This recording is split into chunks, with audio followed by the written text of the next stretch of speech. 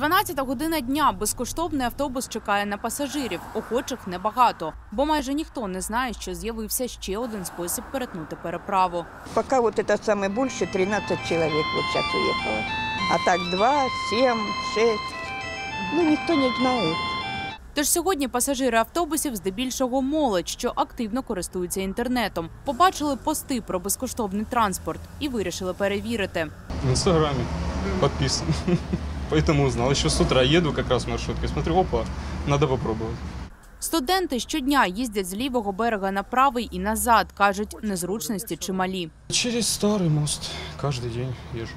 На первую ленту очень часто опаздываю. На час, час двадцать. Ругаются преподаватели, но что, ну, входит в положение. Если я в универе провожу часа 4, 2-3 пары, то добираюсь еще плюс 3 часа к обыденному дня. И это очень тяжело, очень неудобно, потому что устаешь в разы сильнее. Намного удобнее сейчас будет, потому что катер, э, ну, я первую пару еще хорошо, нет очереди, вот если ехать мне на пару третью, то очередь там километровая, как вы знаете.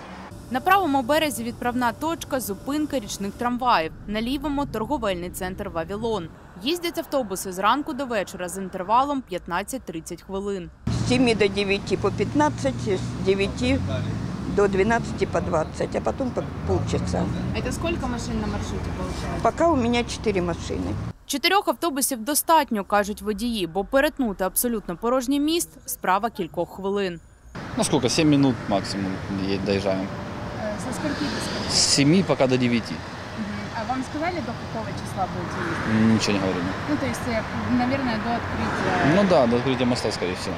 У міськраді ж Дніпра жодних коментарів стосовно безкоштовних автобусів не дають. кажуть тільки, що комунальники вже випробовують тролейбусну лінію, яку днями закінчили наново прокладати. Схоже, міст вже готують до відкриття, адже будівельників наша знімальна група на переправі не побачила. Натомість декілька прибиральних спецавтомобілів. Валерія Бовша, Олег Одринський. Новини 11 каналу.